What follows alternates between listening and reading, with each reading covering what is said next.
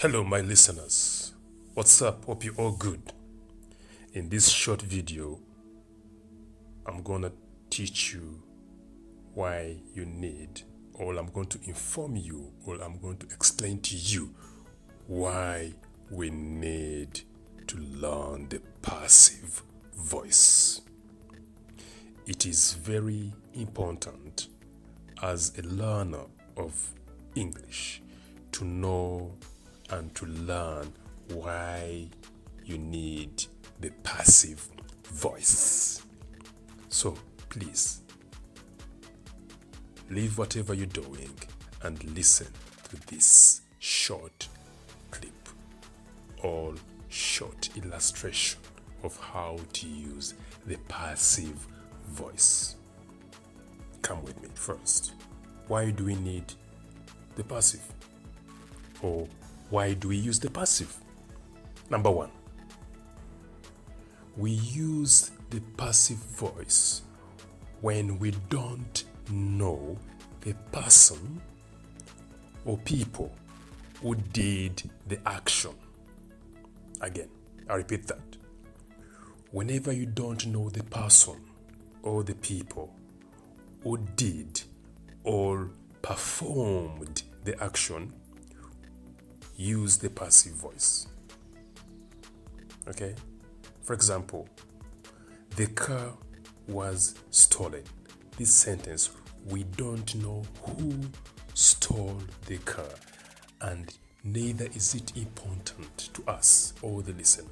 You just tell them, My car was stolen because you don't know the thief. So that sentence is passive. Number two,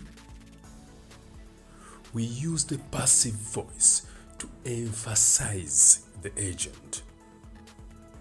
We use the passive voice to emphasize, to put focus on the agent. For example, they were taken by the police. The by is talking about the agent, it's emphasizing who did the action. That is the agent, the police. Remember, police are agents. It's a very good example. Agent Ronnie is a policeman, so he does something.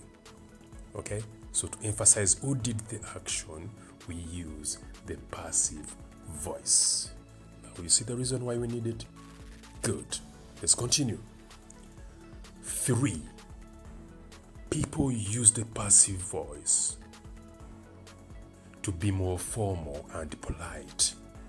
If you want to be formal, to sound formal, you know, official, and to be polite, we use the passive voice.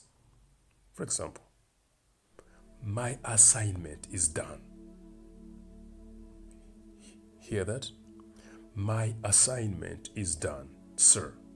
This is formal and polite instead of saying, I finished doing my assignment or I've finished my assignment. Have it. That isn't right. Use passive. My assignment is done or is finished or is completed. That's more formal and uh, good language. Four, and probably the last one. You must or you can or you should use the passive voice when the action is more important. If the action is more important, use the passive voice. For example, you've seen it in the news, in the media, everywhere. Everybody's talking about actions. For example, the people were killed. See, that action killed. The buildings were destroyed. You see, the action is more important. We're stressing the action. The buildings were destroyed by the earthquake. Many people have been infected. Yeah, infection is the is the action, is the Hope you've seen the importance of passive voice. Learn these and many from my website. I'll be making videos for you so that I can teach you how to understand this modern English. Please visit my website at www.englishacked.com and also don't forget to subscribe. Just subscribe and click on that like button. See you. Bye bye.